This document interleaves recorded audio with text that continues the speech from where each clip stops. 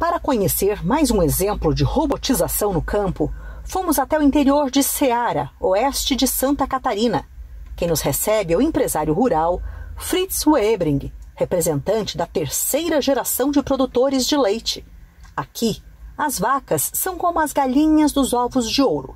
Merecem cuidado e conforto, alimentação de primeira, sombra e água fresca, e um robô à disposição 24 horas por dia.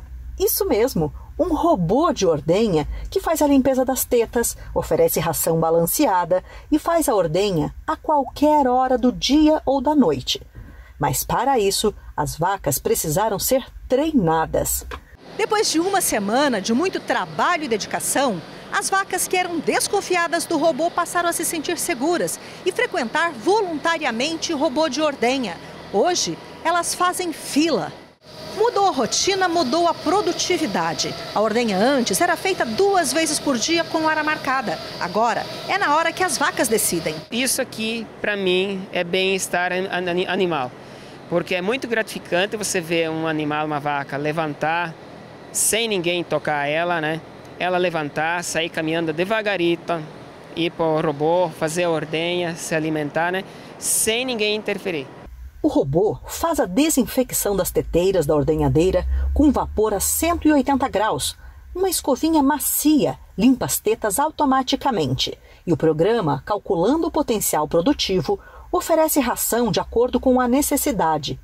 Cada vaca usa um colar, que aciona o robô e que faz a ordenha baseado na média de cada animal. É um sistema que ele está vindo para a ordenha voluntariamente, então ele está ganhando questão de bem-estar não tem gente próximo a ele, não tem muito barulho, então ele acaba se sentindo mais à vontade.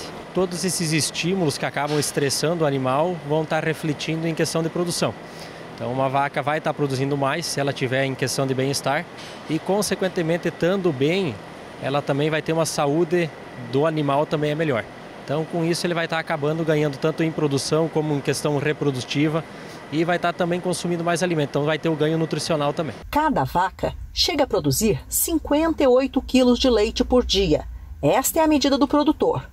Fritz tem no painel todas as informações sobre a produção do dia e qualquer mudança.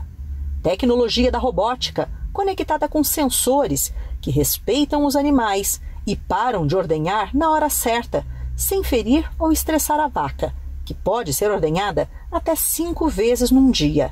Produzindo um leite de melhor qualidade.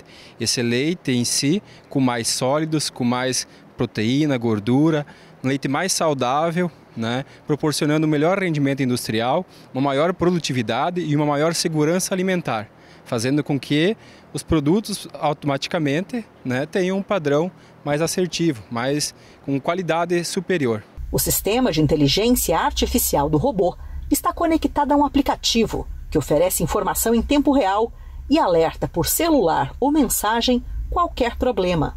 As câmeras, que podem ser acessadas remotamente, completam um monitoramento. Cada grama de leite a mais é lucro. E já são 126 mil litros a mais por ano. Tem que ser eficiente hoje. Né? Qualquer atividade você está na agricultura ou outra coisa também, né? Mas você tem que ser eficiente, você tem que ter os resultados é, nítido, que seja é, fácil de analisar. Então, os robôs, ele mostra toda a lactação da vaca, quanto ela produziu, quanta ração ela comeu, a saúde dela. Se você é eficiente, você consegue se manter na atividade. E se não, é, cada vez está mais difícil, né? Definitivamente, os robôs começam a fazer parte do cenário rural e já são um aliado importante do produtor, que ganha em qualidade de vida e produtividade. Mas e as vacas? Será que elas gostam? Ah, elas adoram, né? Elas faz, sabe bem certinho, faz é, a fila até, né, para vir para o robô.